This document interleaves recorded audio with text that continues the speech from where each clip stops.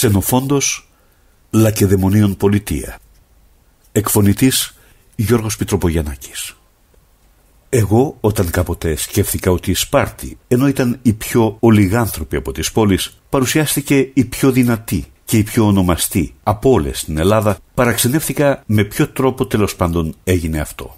Όταν όμως γνώρισα καλά τις ασχολίες των στρατιωτών δεν παραξενευόμουν πια. Τον Λικούργο όμως που θέσπισε τους νόμους για αυτούς στους οποίους υπακούοντας ευτύχησαν και τον θαυμάζω και τον θεωρώ σοφό στο τέλος. Διότι εκείνος, χωρίς να μιμηθεί τις άλλες πόλεις, αλλά και αποφασίζοντας ενέργειες αντίθετες με τις περισσότερες, παρουσίασε την πατρίδα του να ξεχωρίζει σε ευτυχία για παράδειγμα, για να ξεκινήσω από την αρχή, σχετικά με την τεκνοποιία, τις κόρες που είναι σε ηλικία να τεκνοποιήσουν και θεωρούνται ότι έχουν καλή ανατροφή, τις διατρέφουν με όσο γίνεται σωστότερη διατροφή και με όσο είναι δυνατόν λιγότερα καρικεύματα και τις υποχρεώνουν ή να απέχουν εντελώς από εινοποσία ή να πίνουν νερωμένο κρασί. Και όπως οι περισσότεροι από τους τεχνίτες δουλεύουν καθιστή, έτσι οι άλλοι Έλληνες απαιτούν οι κόρες τους, μένοντας σε ακινησία, να ασχολούνται με την υφαντική. Πώς λοιπόν πρέπει να περιμένουμε κοπέλες που ανατρέφονται έτσι ότι θα μπορούσαν να γεννήσουν κάτι αξιόλογο;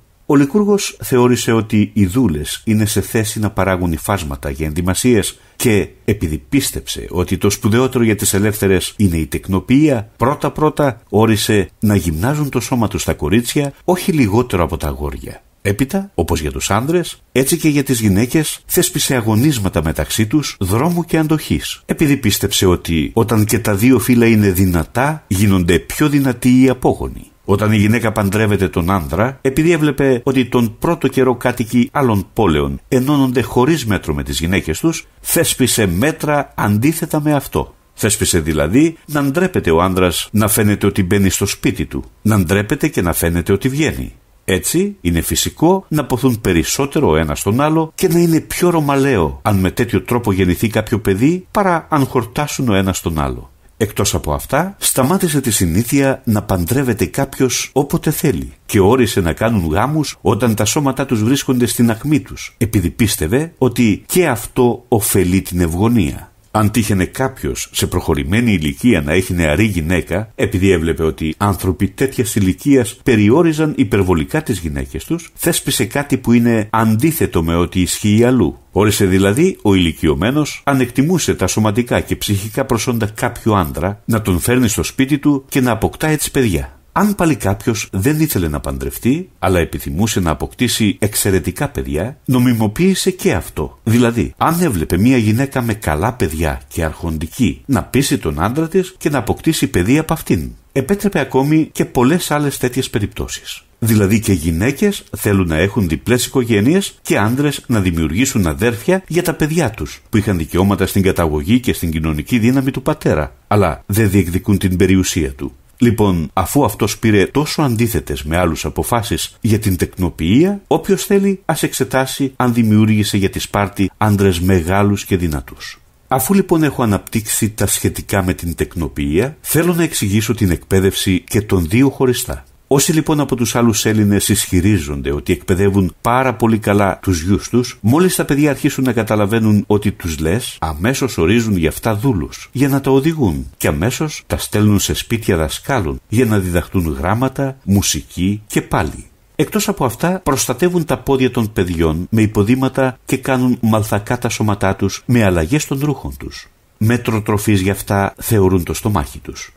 Ο Λικούργο όμως, αντί να ορίζει ο καθένας χωριστά δούλο για να ονομάζει το παιδί του, όρισε να έχει εξουσία πάνω στα παιδιά ένας άνδρας από εκείνους από τους οποίους προέρχονται όσοι έχουν τα πιο σημαντικά αξιώματα. Αυτός ονομάζεται παιδονόμος και έδωσε αρμοδιότητα σε αυτόν και να συγκεντρώνει τα παιδιά και αυστηρά να τιμωρεί κάποιο αν αυτό κάνει κακές ενέργειες. Του έδωσε και μερικούς μαστιγοφόρους νέους για να επιβάλλουν τιμωρίες όταν χρειάζεται έτσι που να υπάρχει εκεί πολύ σεβασμός και πολύ πειθαρχία. Αντί να προστατεύει τα πόδια των παιδιών με υποδήματα, όρισε να τα σκληραγωγούν με την ανυποδησία, επειδή πίστευε ότι αν ασκούνταν έτσι, πολύ ευκολότερα θα προχωρούσαν σε ανηφόρες και ότι με μεγαλύτερη ασφάλεια θα κατέβαιναν τις κατηφοριές και γρηγορότερα θα πηδούσαν, θα ανέβαιναν ψηλά και θα έτρεχαν, αν δεν φορούσαν υποδήματα, αν είχαν γυμνάσει τα πόδια τους, παρά αν φορούσαν υποδήματα.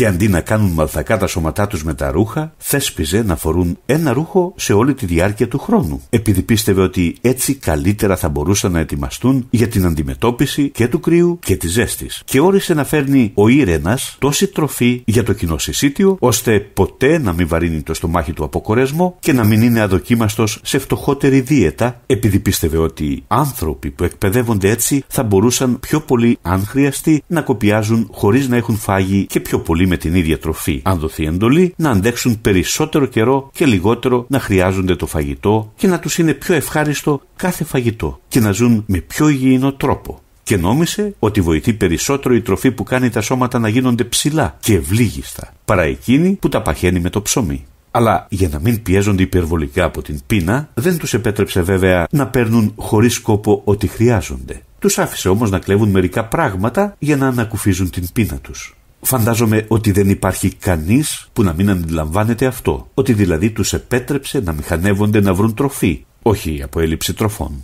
Είναι φανερό ότι όποιος σκοπεύει να κλέψει πρέπει και τη νύχτα να αγρυπνά και την ημέρα να εξαπατά και να ενεδρεύει και να ετοιμάζει κατά σκόπους όποιος σκοπεύει να αρπάξει κάτι. Είναι λοιπόν φανερό ότι εκπαίδευσε έτσι τα παιδιά με όλα αυτά επειδή ήθελε να τα κάνει πιο επινοητικά για την εξέβρεση τροφών και πιο ικανά για τον πόλεμο. Θα μπορούσε βέβαια κάποιος να πει γιατί λοιπόν αν θεωρούσε την κλοπή κάτι καλό όριζε να επιβάλλουν τιμωρία με πολλούς ραβδισμούς σε όποιον πιανόταν να κλέβει. Διότι υποστηρίζω και στα άλλα όσα διδάσκουν οι άνθρωποι τιμωρούν όποιον δεν τα επιτελεί σωστά. Και εκείνοι λοιπόν τιμωρούν όσους πιάνουν επειδή κλέβουν κακώς. Και ενώ θέσπισε ότι είναι καλό να αρπάξει κανείς όσο γίνεται περισσότερα τυριά από το βωμό της όρθιας, όρισε σε άλλους να τους μαστιγώνουν επειδή ήθελε και με αυτό να δείξει ότι είναι δυνατόν να πονέσει κάποιος για λίγο και να ευχαριστιέται έχοντας πετύχει. Με αυτό δηλώνεται ότι όπου χρειάζεται γρηγοράδα, ο νοθρός έχει μικρή ωφέλεια και αντιμετωπίζει μεγάλες δυσκολίες. Και για να μην είναι τα παιδιά κάποτε χωρίς αρχηγό, αν φύγει ο παιδονόμος, όρισε να είναι αρμόδιος όποιος από τους πολίτες είναι εκεί και να επιβάλλει στα παιδιά ό,τι νομίζει ότι είναι καλό και να τα τιμωρεί αν κάνουν σφάλμα. Κάνοντας αυτό πέτυχε να ντρέπονται περισσότερο τα παιδιά. Διότι τίποτε δεν ντρέπονται τόσο ούτε τα παιδιά ούτε οι άνδρες όσο τους άρχοντες. Και για να μην μένουν τα παιδιά χωρίς αρχηγό, αν κάποτε τύχει να μην είναι εκεί κάποιος άνδρας, όρισε να εξουσιάζει κάθε ύλη ο πιο πρόθυμος από τους σύρενες. Έτσι τα παιδιά εκεί δεν είναι ποτέ χωρίς αρχηγό. Νομίζω ότι πρέπει να μιλήσω και για την παιδεραστία, διότι και αυτό έχει σχέση με την αγωγή. Οι άλλοι Έλληνες λοιπόν, ή όπως οι βιωτοί συνδέονται άνδρας και παιδί και έχουν σχέσεις, ή όπως οι ηλίοι σχετίζονται με τη χάρη που έχει η εφηβική ηλικία. Υπάρχουν όμως και εκείνοι που εντελώς απαγορεύουν να σχετίζονται οι εραστές με τα παιδιά.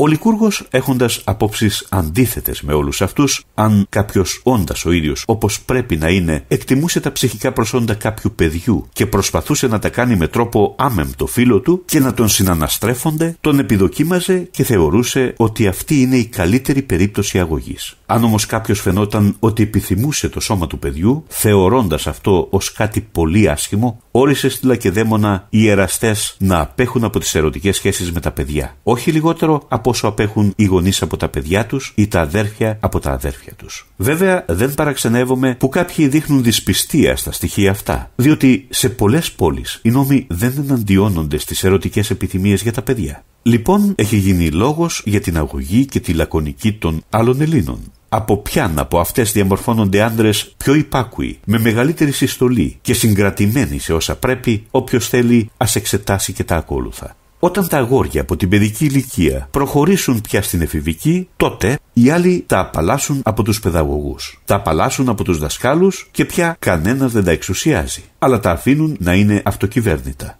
Ο Λικούργος πήρε αποφάσεις αντίθετες και με αυτά, διότι επειδή παρατήρησε ότι στους νέους αυτής της ηλικίας αναπτύσσεται πολύ μεγάλο φρόνημα, ότι προπάντων ξεχυλίζει η αλαζονία και ότι δημιουργούνται πολύ ισχυρές επιθυμίες για τις απολαύσεις, τότε τους επέβαλε πάρα πολλά κοπιαστικά έργα και μηχανεύτηκε να έχουν πάρα πολλές απασχολήσεις επειδή πρόσθεσε και ότι αν κάποιος της αποφεύγει να μην κερδίζει τίποτε από τα καλά, κατάφερε ώστε όχι μόνο οι άνθρωποι της εξουσίας, αλλά και οι κηδεμόνες του καθενός να μην δηλιάζουν και γίνονται εντελώς ανυπόλοιπτοι μέσα στην πόλη. Εκτός από αυτά, επειδή ήθελε να εμφυτεύσει στους νέους με ένταση το σεβασμό, πρόσταξε και στους δρόμους να έχουν τα χέρια τους μέσα στο ημάτιό τους, να περπατούν σιωπηλά, να μην στρέφουν το βλέμμα τους πουθενά, αλλά να κοιτάζουν όσα είναι μπροστά στα πόδια τους. Εδώ λοιπόν έχει γίνει φανερό ότι το αρσενικό φύλλο είναι πιο δυνατό από τη θηλυκή φύση στο θέμα της σοφροσύνης. Λοιπόν, τη φωνή εκείνων θα την ακούσεις λιγότερο από όσο των λίθινων αγαλμάτων. Λιγότερο θα μετακινήσεις τα βλέμματά τους από όσο των χάλκινων αγαλμάτων και θα τους θεωρήσεις πιο τροπαλούς ακόμα και από τις ανήπαντρες κοπέλες που μένουν στους θαλάμους τους.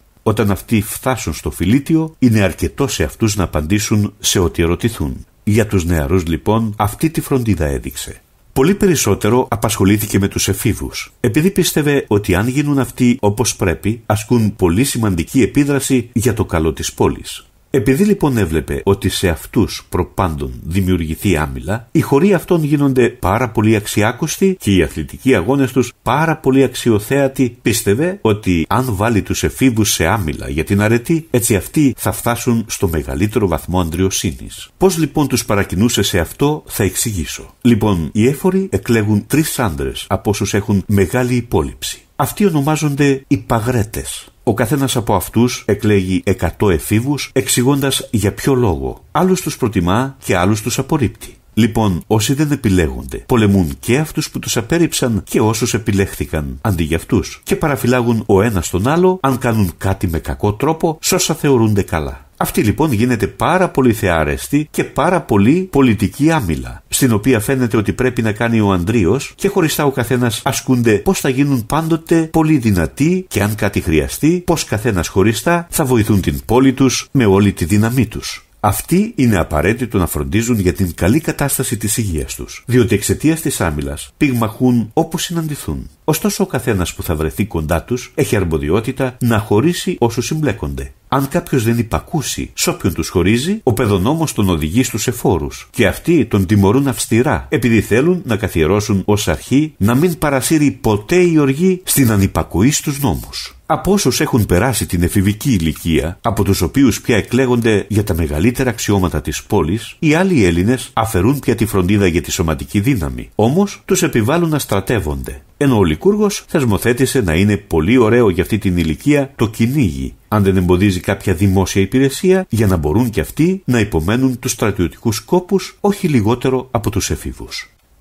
Ξενοφόντος Λακεδαιμονίων Πολιτεία Εκφωνητής Γιώργος Πιτροπογιαννάκης